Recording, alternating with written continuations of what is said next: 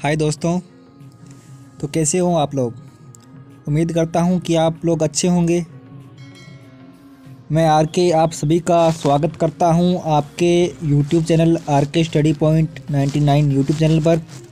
तो आज हम कक्षा बारह का राजनीतिक विज्ञान का अध्याय नंबर दो जो है, दो ध्रुवता का अंत, उसका जो नोट्स है वो मैं आपके लिए लेकर आया हूँ आज। कुछ बच्चे के कमेंट्स आ रहे थी कि भी सर को जो अपने दो ध्रुवता वाले अंत का जो चैप्टर जो है, उसके नोट्स जो लेकर आओ। तो हमने नोट्स तैयार किए हैं। जो दो ध्रुवता का अंत वाला जो चैप्टर है, उसके नोट्स है। लिखना आपको है, हम तो आपके लिए नोट्स लेकर आ सकते हैं। बस चाहे कहीं से आपके लिए नोट्स लेकर आएँ, हमारा काम है आपके लिए नोट्स जो है लेकर आना। ठीक है, लिखना तो आपका काम है। तो आज हम आपके लिए नोट्स जो है लेकर आए हैं दो ध्रुवता का अंत। तो दोस्तों, देखिए कि हमने जो व्हाट्सएप पे जो ग्रुप बने हुए थे, उनको डिलीट कर दिया है। डिलीट करने का कारण यही था कि पाँच छः ग्रुप थे और उनमें से पढ़ने वाले बच्चे बहुत कम थे। तो इसलिए हमने सभी को रिमूव कर दिया और एक अलग ग्रुप बना दिया। मिशन रख दिया आर बोर्ड एग्ज़ाम का, ठीक है? तो उसका जो लिंक है व्हाट्सएप का मैं आपको डिस्क्रिप्शन के अंदर दे दूँगा और ज़्यादा से ज़्यादा टेलीग्राम पर जुड़ने की कोशिश करना, क्योंकि टेलीग्राम पर आपको कुछ जो नोट्स है वो टेलीग्राम पर मिल जाएँगे, ठीक है? तो कोशिश ये रखना भी टेलीग्राम ग्रुप ज्वाइन करें, ठीक है? और व्हाट्सएप ग्रुप का भी लिंक मैं आपको डिस्क्रिप्शन के अंदर दे दूँगा, वहाँ से आप ज्वाइन कर सकते हो। आप वीडियो को पूरा देखिए। आप क्या करते हो वीडियो को मतलब थोड़ा सा देख के बंद कर देते हो, ऐसा मत किया करो वीडियो को पूरा देखना है। लाइक और अपने दोस्तों से शेयर करना है, ठीक है? तो देखिए, बर्लिन की दीवार, अपना ये पॉइंट है पहला, बर्लिन की दीवार। क्वेश्चन इसका आता है एग्ज़ाम के अंदर भी यही आया है, अर्धवार्षिक जो हुआ है, इसके अंदर, इसका जो क्वेश्चन है वो आया है। तो देखिए, पूर्वी और पश्चिम खेमे के बीच विभाजन का प्रतीक थी। यूरोप महाद्वीपीय में जर्मनी देश की राजधानी बर्लिन शीत युद्ध के प्रतीक 1961 में बनी। बर्लिन की दीवार को 9 नवंबर उन्नीस को जनता द्वारा तोड़ दिया गया। यह 28 वर्ष तक खड़ी रही तथा यह 150 किलोमीटर लंबी थी। ठीक है, ये देखिए पूरे बर्लिन की जो दीवार थी उसके बारे में बताया गया है पूरा। मतलब वह कितनी लंबी थी और उसको तोड़ा कब गया था?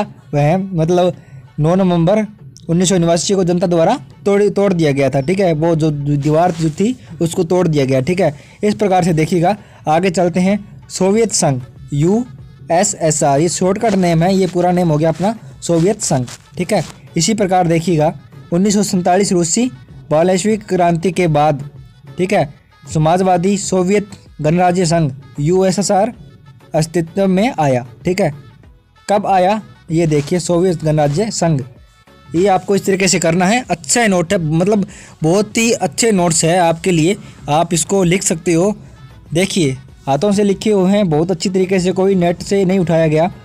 देखिए, सोवियत संघ में कुल मिलाकर पाँच, सॉरी, पंद्रह गणराज्य थे, अर्थात पंद्रह अलग अलग देशों को मिलाकर सोवियत संघ का निर्माण किया गया।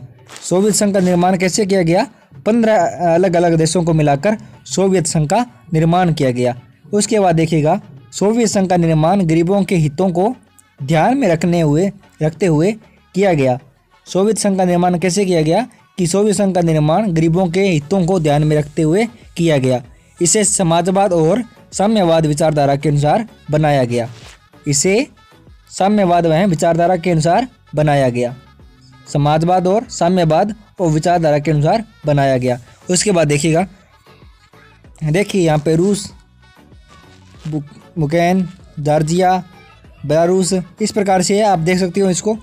इनके नाम जो है उसके बाद है सोवियत प्रणाली। देखिएगा सोवियत प्रणाली, सोवियत संघ में समतावादी समाज के निर्माण के लिए केंद्रीय योजना राज्य के नियंत्रण में योज नियंत्रण पर आधारित और साम्यवाद दल द्वारा निर्देशित व्यवस्था सोवियत प्रणाली कहलाएगी, ठीक है? उसके बाद देखिएगा सोवियत प्रणाली की विशेषताएँ।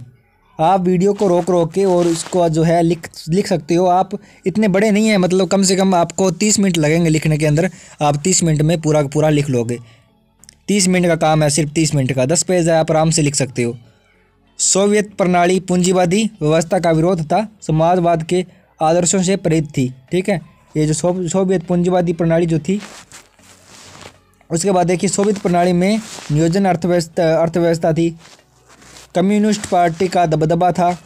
उसके बाद देखिएगा, न्यूनतम जीवन स्तर की सुविधाएँ बेरोजगारी न होना, ओनर संचार प्रणाली थी दूसरी दुनिया के देश।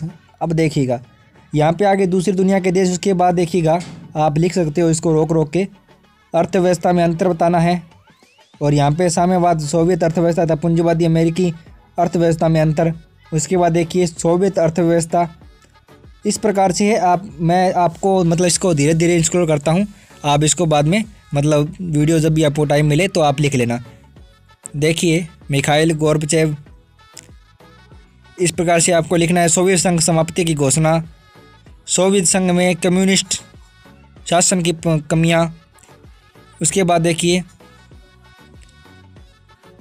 सोवियत संघ विघटन के कारण, क्या कारण थे विघटन के? ये देखिए। नागरिकों की राजनीति और आर्थिक आकांक्षाओं को पूरा न कर पाना सोवियत प्रणाली पर नौकरशाही का सिकंजा कम्युनिस्ट पार्टी का बुरा शासन, लोगों को गलत जानकारी देना कि सोवियत संघ विकास कर रहा है। इसी प्रकार से देखिएगा, आप इसको लिख सकते हो। पाँच पेज हो चुके हैं, इसके बाद मैं और पाँच पेज जो है इसको इंस्टॉल करता हूँ। एक ध्रुवीय विश्व बहुत ही अच्छे नोट्स है। आप लिख लेना, ज़रूर लिखना है आपको। देखिए, कोई देश नहीं रहा था। विश्व में पूंजीवादी अर्थव्यवस्था को बोलवाला हो गया क्योंकि समाजवादी अर्थव्यवस्था असफल हो गई थी। हथियारों की होड़ देखिए, कीमत। देखिए, सोवियत संघ ने हथियारों की होड़ में अमेरिका को कड़ी टक्कर की, टक्कर दी, परंतु प्रौद्योगिकी द्वारा बुनियादी ढांचे के मामले में वह पश्चिमी देशों से पिछड़ गया। उसके बाद देखिएगा, शॉक थेरेपी क्या है? ये क्वेश्चन आता है, बहुत ही अच्छा है। तो इसको आप अच्छी तरीके से समझना। जब भी आप इसको लिखो तो बोल बोल कर आप, आपको लिखना है, ताकि आपको अच्छी तरीके से याद हो जाए। शॉक थेरेपी की विशेषताएँ देखिए। यहाँ पे देख सकते हो। पहले तो प्रश्न आया कि शॉक थेरेपी क्या है? इसकी विशेषता आ गई। बड़ा क्वेश्चन आपको पूछ लिया जाए तो एग्ज़ाम में कर सकते हो। इसी प्रकार से शॉक थेरेपी की परिणाम क्या थे? ये यहाँ पे पूछा, बताया गया है। बहुत ही अच्छी तरीके से तैयार किया गया है। उसके बाद देखिएगा।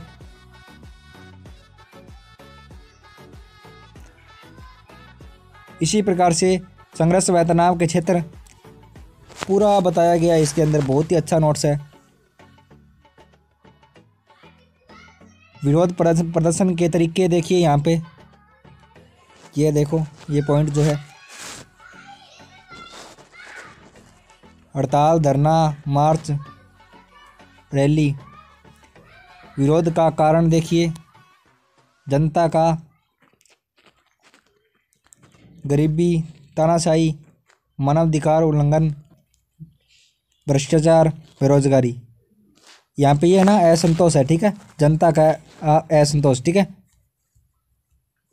बालकन क्षेत्र देखिए बाल्टिक क्षेत्र देखिए, मध्य एशिया देखिए, इस प्रकार से पॉइंट है। ये यहाँ पे अपने दस पेज पूरे हो जाते हैं, ठीक है? बहुत ही अच्छे हैं, आपको रोक रोक के लिखना है और अच्छी तरीके से याद करना है। आपको साथ साथ में याद हो जाएँगे, जिस तरीके से आप करोगे, ये आपके याद हो जाएँगे, ठीक है? लिखने से याद होंगे, आपको पीडीएफ लेने से कुछ याद नहीं होंगे। आप लिखोगे, तब आपके याद भी हो जाएँगे। देखिए, आपको पढ़ना तो पड़ेगा, याद भी करना पड़ेगा पीडीएफ आने से कुछ नहीं होता। तो आपको इसको याद करना है। आप अगर व्हाट्सएप ग्रुप से या टेलीग्राम ग्रुप में अभी तक ज्वाइन नहीं हुई हो तो ज्वाइन कर लीजिएगा। मैं उसका जो लिंक है, वो डिस्क्रिप्शन के अंदर दे रहा हूँ, और वहाँ से आप ज्वाइन कर लेना, ठीक है? तो मिलेंगे अगले वीडियो के अंदर। अगला जो चैप्टर है, वो लेकर आएँगे नोट्स के साथ। और जोग्राफ़ी के भी मैं जो है पीडीएफ उसको कराऊँगा आपके लिए। जो इसके जो अच्छे नोट्स है, वो तैयार करके आपको मैं वीडियो के अंदर डाल दूँगा। आप देख लेना।